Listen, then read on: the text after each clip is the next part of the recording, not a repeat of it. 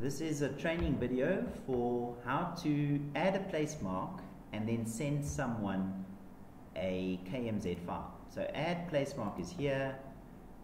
I'm going to put the place mark here in the middle of the stockpile and I'm going to call it stockpile.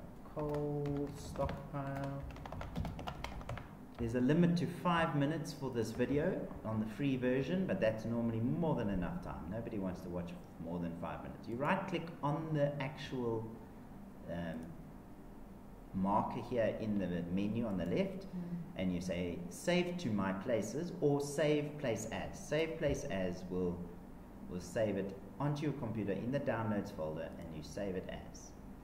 Then it is saved, and you can copy and paste that to another client and we can also save to my places so it's permanently saved in my places.